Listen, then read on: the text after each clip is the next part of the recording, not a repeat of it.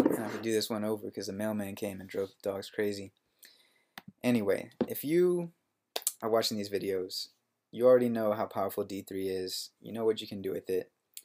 But writing everything yourself from scratch, well, can take forever and the community is really active and making some great uh, plugins and reusable charts. So I want to show you one of these uh, reusable charts and talk a little bit about what it's good for because it's great.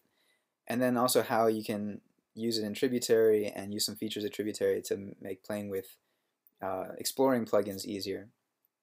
So yeah, this chart is called Parallel Coordinates. It's by my homie Kai Chang. Um, he's been working on it for, for a little while now and it's really coming together. So let's do it. Alright, so first let me tell you a little bit about parallel coordinates, um, just so you have an idea of you know what it's good for um, and how you might be able to use it.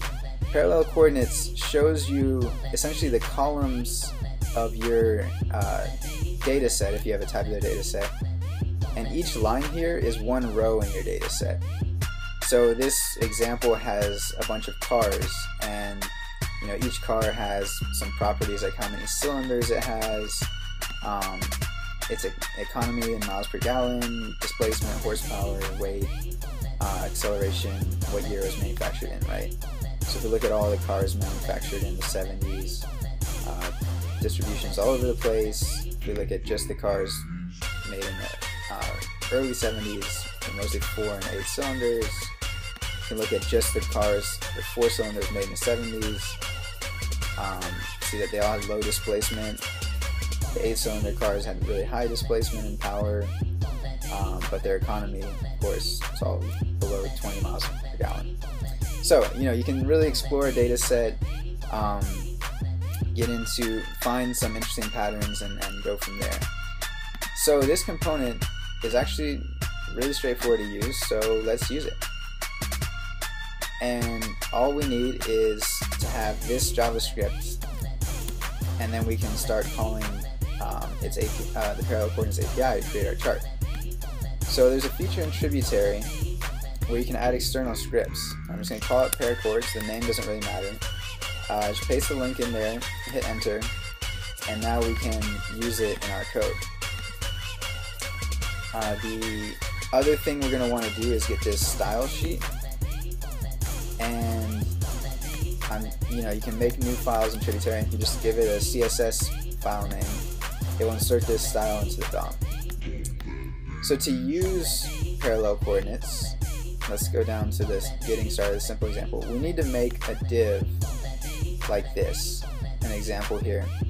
Um, we can do that in here with HTML as well. So if I just say, and let, her, you know, example.html, um, paste that in there, that'll be there.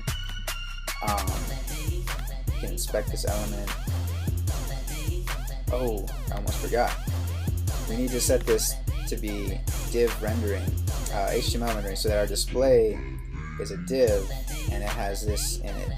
The default in Tributary is to give you SVG to render into, but parallel coordinates renders um, canvas and SVG for you. So let's get this like simple, super simple sample data set. Um,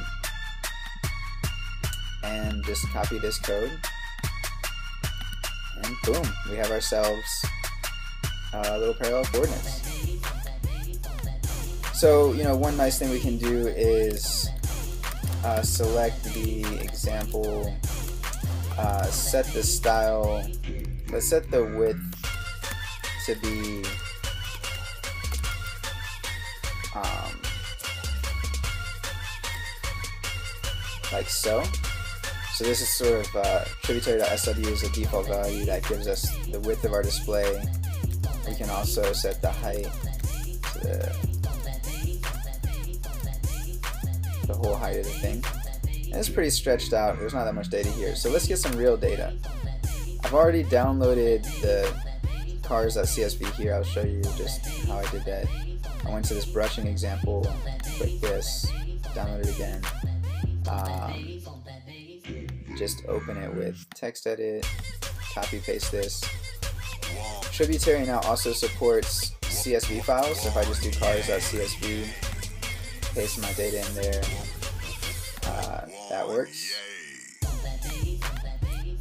Um, and so here we can just say data equals tributary.cars and we can comment this out. Alright, so now we have our cars data in here. So this works just by like anytime you have a, a file name here, you just get tributary dot whatever the file name is without the CSV, and it just gives you the data. So let's get some of the other nice features from the, uh, the parallel coordinates API. We can just scroll down here a bit, and that's my homie Kyle talking to me right now. We can make the dimensions reorderable. So I believe it's just that reorderable should be able to, yeah, move our dimensions around. Because in parallel coordinates, you actually, what you look at is the relationship between two dimensions, and, you know, sometimes you want to find out, is there a relationship? So if you reorder them, you can see, um, like here, that uh, high economy correlates to low displacement and vice versa. You see this crossing over suggests that. Uh, we can also add brushable. And that allows us to filter with the brush. So we can just look at subsets of our data and then subsets of subsets of subsets. And you know see what we find. So this shows us like all the cars that have slow acceleration low power. None of the high power have slow slow acceleration but there are some. Oh this is displacement. Let's get rid of displacement yeah so you can get filtered down just a few cars. And uh, let's talk about one more thing, which is color. So we can set um, here the color we can set to whatever we want.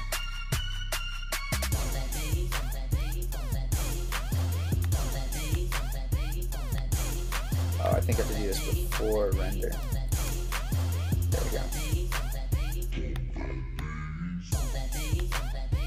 So we can, you know, play the color however we want.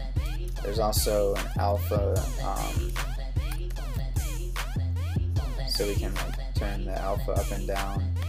There's some interesting stuff with these compositing modes, which is nice. So um, let's try lighter. what was it? Uh, compositing. Think it's dot mode. Uh, composite. Dot composite composite, and say lighter. So that means that when things overlap, they get lighter. So if we look at, oops, new displacement, we have this correlation so you can kind of see it brighten up there. Um, the last thing I want to show is the colors, data-driven colors.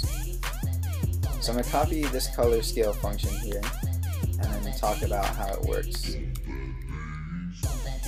Oops, this not statistical coloring. We can just do it uh, data-driven color here. So this is coloring based on the economy of the car, which goes from like 9 to 50 or so. So you'll see here the domain of this color scale is manually set. Do it the right way, you would get it from your data. Um, but then the way to actually hook it up is make a, a function here which will copy. And I'm going to call this, you know, color, function D. And this is basically when we pass in this color function to parallel coordinates, it's going to call this with every line and then we're going to use the economy, the value of the economy um, for, for each uh, row, each line, and pass it through this color scale. And then if we were to here instead do um, you know these kinds of colors then we can actually play with it to look positive